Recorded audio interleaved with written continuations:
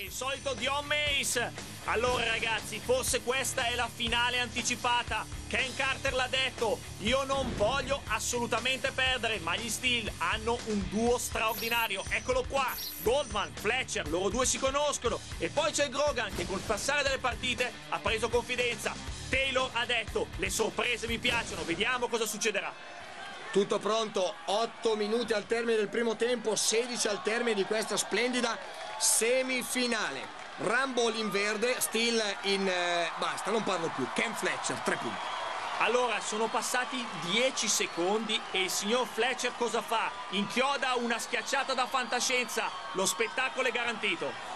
Genise prova da tre punti, attenzione che quando parte così Genise senza sapere un po' quello che deve fare è sempre, è sempre brutto tempo per la sua squadra, mentre d'altra parte Jones l'appoggia morbida ma c'è, c'è naturalmente Diane Mace. Bisogna sempre fare i conti con Mace quando si cerca di andare a canestro dalla parte dei Rumble. Mace è un colosso, ma ha detto bene Christian, senza Giannis la squadra dei Rumble fatica.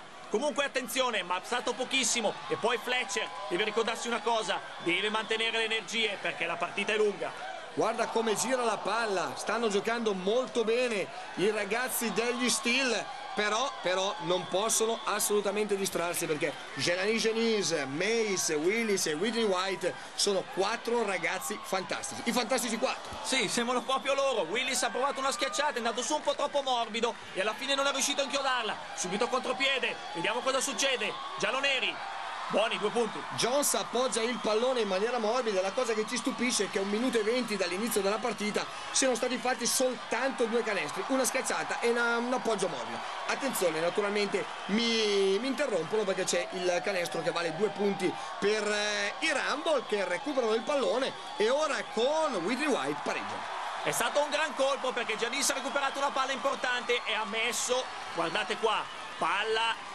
ha nelle mani di uno che sa cosa farne. Tre punti fondamentali, pareggio. Stan Fletcher dalla parte opposta, la appoggia bassa per Jones, viene stoppato da Macy, il solito Macy, fa ripartire poi Jelani Genis. Vediamo cosa inventa, probabilmente cercherà... E invece va da soli, ragazzi. Quanto è stato in aria? Sei ore e mezza. È stato in aria dieci minuti, il termine di tutta la partita, e poi ha messo questo pallone devastante a canestro poteva spaccare tutto. Che mezzi fisici che ha Giannis, è incredibile. Questo sa giocare con la palla, sa schiacciare, sa, sa tirare, sa anche difendere. Forse fa bene anche la pasta, staremo a vedere. Eh, io ho fame, quindi se vuoi, butta su quello che ti pare, Giannis. Goldman, 20 eh, punti. Si è svegliato, si è svegliato tuo amico Goldman, era un po' che l'aspettavamo. Adesso vediamo, i loro due sono fondamentali. Palla lunga, Vediamo com come... Oh, si accontenta da due, strano, infatti va lunga, recupera molto bene la palla Fletcher. Fletcher avanza, avanza. Oh, l'intervento molto deciso da parte del numero 2 dei Ramble. E poi Genise preferisce schiacciare? No, l'appoggia morbida, recupera Willy. La palla ancora due?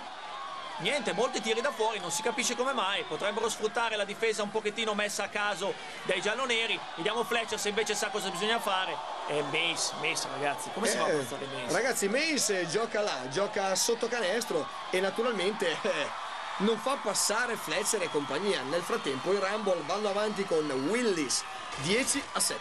Si stanno scaldando i Rumble. Guardate questa schiacciata, molto simile a quella di Giannis, vuol dire che ci credono, vuol dire che vogliono la finale. Vediamo i gialloneri, Fletcher prova dal lato.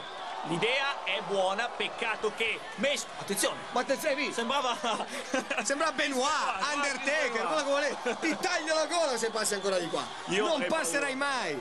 Io avrei paura di Mace perché ragazzi questo supera abbondantemente i 115 kg e soprattutto è devastante quando salta verticalmente. E attenzione perché Dion Mace è esattamente 250 libbre. 120 kg. Esatto, contro Stan Fletcher che è 180 libbre, quindi c'è un po' di differenza eh, direi due. Di eh. sì. Il punteggio Rambo 10, Steel 10. Torniamo subito.